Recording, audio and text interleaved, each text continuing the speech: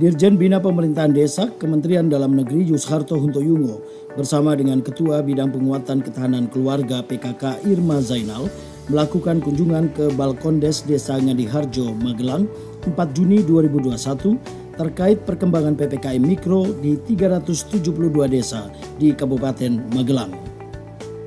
Selain didampingi Ketua Bidang Penguatan Ketahanan Keluarga PKK Irma Zainal, Dirjen Bina Pemdes juga didampingi oleh Sekretaris PMD Kabupaten Magelang Agung Purwadi, Camat Borobudur Amin Sudrajat, serta Kepala Desa Ngadiharjo Wahyu Saryanto. Dalam peninjauan pelaksanaan PPKM Mikro di Desa Ngadiharjo, Kabupaten Magelang.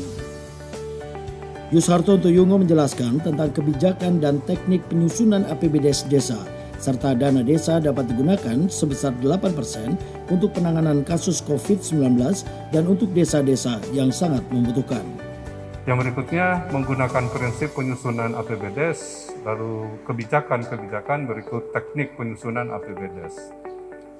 Kegiatan ini berdasarkan kewenangan desa. Kewenangan desa sudah pasti sudah dituangkan ya Pak ya dalam eh, berbagai macam perda yang diatur di Kabupaten Magelang dan ini akan menjadi dasar untuk penetapan eh, APBDes. Amanah dari Menteri Keuangan bukan hanya dana desa. Ya Pak Ses. Karena semua anggaran yang berasal dari alokasi pemerintah pusat itu bisa digunakan untuk penanganan COVID. Apa saja? DAU, ya, DAK, dana bagi hasil pajak dan retribusi dan sebagainya. Itu bisa digunakan minimal 8%. Tetapi yang utama dari dana desa dulu Bapak, ya.